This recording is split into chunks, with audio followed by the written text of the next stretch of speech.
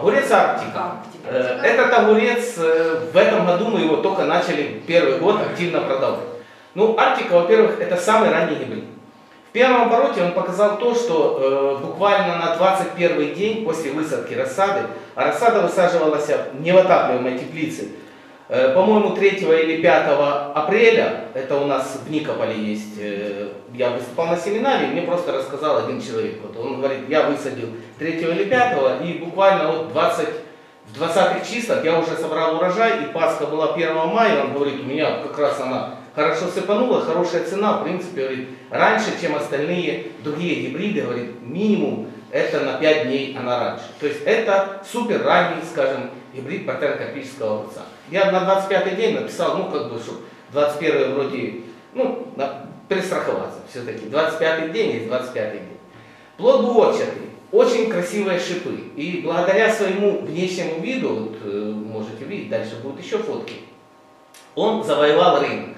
То есть э, для меня было важно то, что узнать, когда я общался вот уже во второй половине, это в августе, месяце с производителями, с тепличниками, и говорю, как вы продаете этот э, огурец, знают его, говорит, конечно, я на Капани заезжаю, и за мной бежит перекупщик и спрашивает, какой огурец? Он говорит, Арктика, все, поехали. То есть к нам заходили люди, которые говорят, мы хотим этот посадить огурец, нам сам закупщик сказал о том, что садите, мы хороший товарный вид, они, он хорошо продается, то есть, говорит, садите, вы не прогадаете.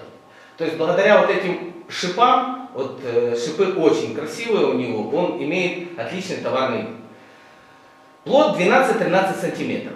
Возможно, это немножко есть один из недостатков, потому что некоторые люди хотят плод 16-17 сантиметров, которые хотят, чтобы он вытянулся, и как бы получить при этом, ну, они мотивируют то, что чем длиннее плод, тем, ну, больше получается вес, больше будет отдача. На самом деле, я вам скажу, это не так. Его не нужно э, рвать, допустим, ну, ждать, когда он потянется. Его можно вытянуть. Агротехническими приемами он вытягивается. То есть Э, нормально вот 12-13 можно до 15 сантиметров, если же применять здесь аминокислоты, которые будут его способствовать просто росту плода. Вот для роста плода можно аминокислоты, можно получить нормальный, ну скажем, тот размер, который вы хотите. Но на самом деле этого не нужно делать. Почему? 13 сантиметров это как раз хороший товарный огурец. То есть он небольшой, не переросший, как раз и не корнишон, как бы относится уже больше. И плюс то, что он, э, получается, чем чаще вы будете его рвать, тем больше у вас будет урожайность. Э, в этом году на осень, во втором обороте, в Львовской области, в Пустомытах, э, было в теплице, есть тепличное хозяйство, и было несколько теплиц посажено именно Арктика по рекомендациям нашего одного дистрибьютора.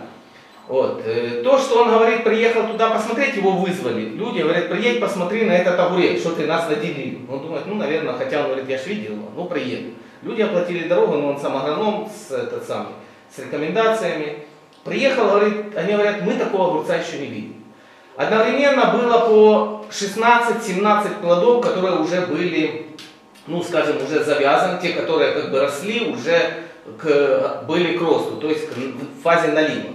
И всего мы насчитали, говорит, на огурцу, ну, огурец это был где-то в пределах, где-то метр восемьдесят его высота была. И он говорит, мы насчитали вообще цветочков 85 штук на этом растении. То есть 85 цветков, и мы э, говорим о том, что 17 было уже готово к наливу, то есть их буквально там в течение 4-5 дней они, уже можно было их убрать.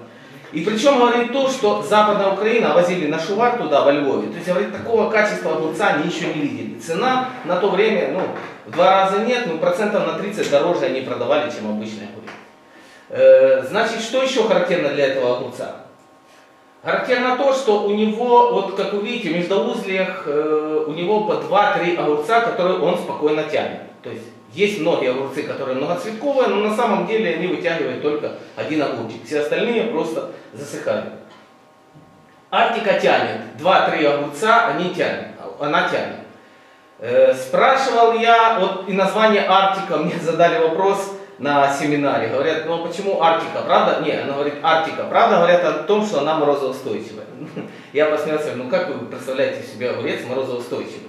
Но вот они говорят то, что она, ну, Морозов говорит, давайте так, она не выдержит однозначно, это биология, это растение. Э, того, что он говорит, я имел в виду то, что она плодоносит при холодной температуре. Я говорю, да.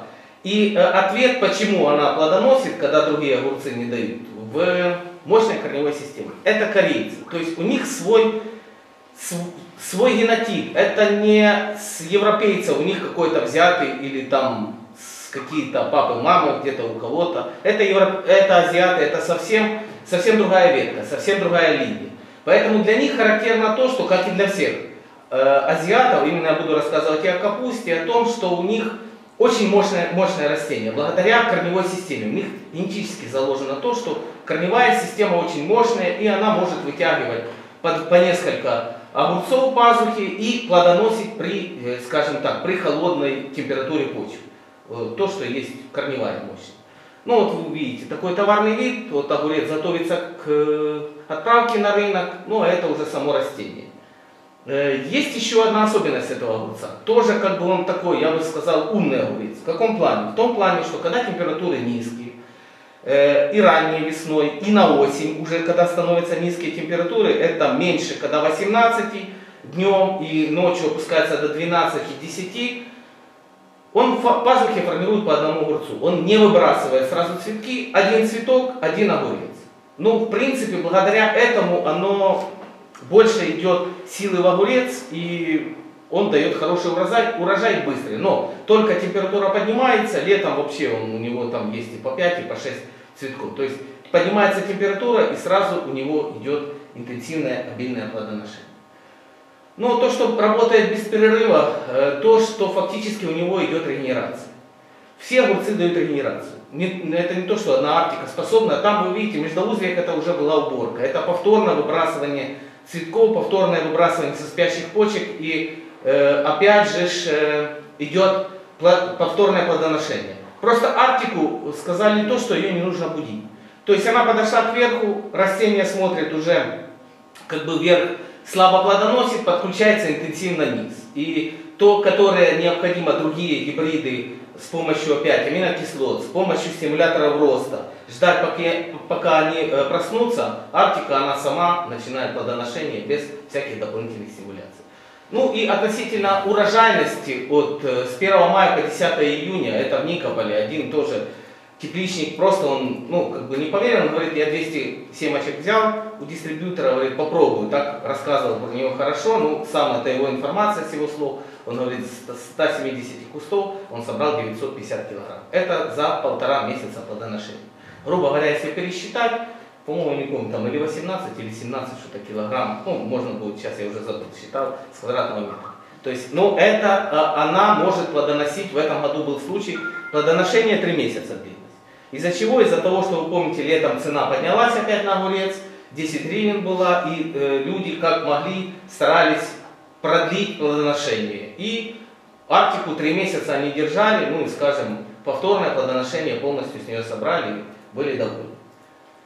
Ну, в принципе, вот эта Арктика, это хит продаж, я думаю, этого года и следующего будет. Арктика. Отличный, конечно же, выбор для профессионалов. Спасибо за внимание. С вами был ваш супермаркет семян. Подписывайтесь на наш канал и ставьте лайки.